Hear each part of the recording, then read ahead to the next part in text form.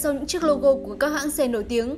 Bất kỳ logo thương hiệu xe hơi nào cũng mang một sứ mệnh đặc biệt, không chỉ đơn thuần là đại diện cho một nhãn hiệu, mà nó còn là sợi dây kết nối khách hàng từ trong tiềm thức. Ẩn sau nó là những điều vô cùng ý nghĩa và thú vị, khiến cho không ít những người yêu xe hiếu kỳ muốn biết đến. Vậy ý nghĩa của chúng là gì? Câu chuyện nào ẩn chứa sau đó? Hãy cùng tám xe đi tìm hiểu những câu chuyện thú vị xoay quanh logo của 6 hãng xe ô tô nổi tiếng trên thế giới. 1. Toyota Toyota là một trong những hãng xe hơi nổi tiếng nhất trên thế giới từ nhiều năm nay. Toyota được xây dựng từ dòng họ Toyota tại vùng Aichi với nghề nấu rượu sake.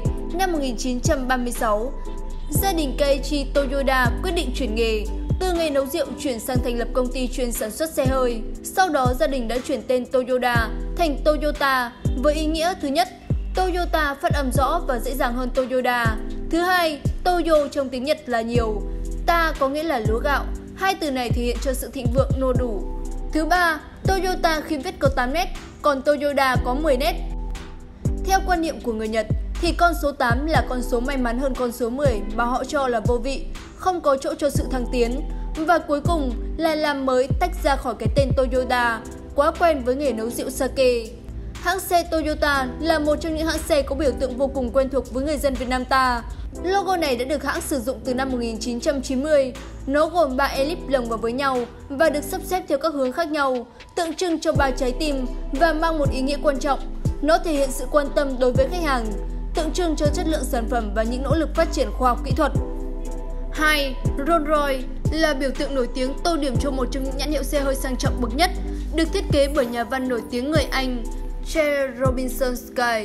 Spirits of Ecstasy là vật trang điểm trên mũi các xe Rolls-Royce xuất từ năm 1991. Logo của Rolls-Royce là một chữ R kép, chính là tên viết tắt của hai người sáng lập ra mắc xe này, Chandler Rolls và Henry Roy. Lúc đầu chữ R kép này có màu đỏ, rồi được đổi thành màu xanh. Khi Chandler Rolls qua đời, cùng với logo này, bức tượng nổi tiếng gắn trên lưới tản nhiệt ngay phía trên logo cũng là nét độc đáo tạo nên cái riêng của Rolls-Royce. 3. Mercedes-Benz Thương hiệu Mercedes-Benz được thành lập từ sự hợp nhất giữa Daimler và Benz vào năm 1926. Biểu tượng ngôi sao ba cánh của Mercedes-Benz đã rất nổi tiếng và quen thuộc với nhiều người. Những năm cuối thế kỷ 19, Gottlieb Daimler, người đồng sáng lập nên hãng Mercedes-Benz, khi gửi cho người vợ thân yêu tấm bưu thiếp mang hình ngôi sao bao quanh ngôi nhà mà hai người sinh sống, đã ghi vào đó dòng chữ Một ngày nào đó, ngôi sao này sẽ tỏa sáng sự nghiệp của anh. Và vào năm 1909, mọi chuyện đã đến đúng như những gì ông hy vọng.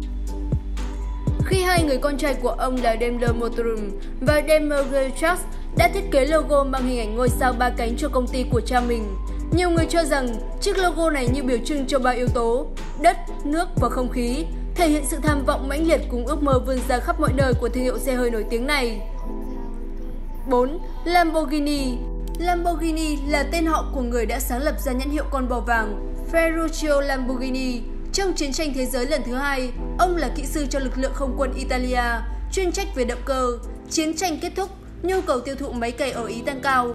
Nắm bắt thời cơ, Lamborghini đã mua lại máy móc thừa của quân đội và cải tiến thành các loại máy cày, máy kéo.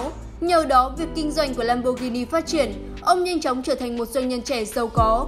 Với niềm đam mê xe hơi thể thao mãnh liệt, Lamborghini luôn muốn chế tạo ra những chiếc xe tốt nhất khi đã có tiềm lực về kinh tế. Vào năm 1963, Lamborghini quyết định xây dựng nhà máy sản xuất xe hơi mang tên Automobile Lamborghini Spa tại một ngôi làng nhỏ vùng San Agata. Mắc xe này được Ferruccio Lamborghini thành lập vào năm 1963.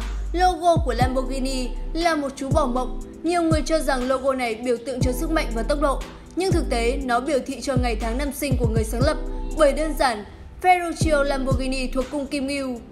5. BMW Nếu có một cuộc khảo sát về những tông màu biểu trưng nhất làng xe toàn cầu, lá cờ ba màu của BMW chắc chắn sẽ có mặt trong danh sách dẫn đầu. Mặc dù đã nhiều lần thay đổi logo, nhưng trong lịch sử gần 100 năm hình thành và phát triển của hãng xe hơi nước Đức BMW, vẫn giữ logo của mình với hình dáng của một cánh quạt quay trên nền xanh. Điều này thể hiện sự tự hào về màu xanh trắng của lá cờ Barivan, quê hương của hãng xe này. Ngoài ra, trong suốt thế chiến thứ nhất, BMW là nhà cung cấp chính xác động cơ máy bay cho chính phủ Đức, nên biểu tượng này còn được cho là tượng trưng cho cánh quạt máy bay. 6. Ferrari Ferrari SPA là một công ty sản xuất xe thể thao của Ý, do Enzo Ferrari sáng lập năm 1929 với tên gọi ban đầu là Scuderia Ferrari. công ty chuyên tài trợ cho các tay đua và các loại xe đua trước khi được đưa vào sử dụng. Năm 1947, công ty chính thức mang tên Ferrari SPA. Trong lịch sử phát triển của mình, Ferrari được biết đến nhiều qua các cuộc đua xe, đặc biệt hãng đã rất thành công tại giải đua công thức 1, giải đua xe nổi tiếng hàng đầu thế giới. Ferrari có logo là biểu tượng tuấn mã tung vó trên nền vàng tươi. Màu sắc đặc trưng cho thành phố Modini, thường có hai chữ SF ở dưới. Ngoài ra, viền của logo còn là ba màu, xanh, trắng và đỏ trong quốc kỳ của Ý. Trên đây là tổng hợp 6 logo của các hãng xe nổi tiếng và ý nghĩa ẩn sau những chiếc logo ấy. Hy vọng sẽ giúp các bạn hiểu hơn về chúng. Webvision, thương hiệu camera hành trình số 1 Việt Nam.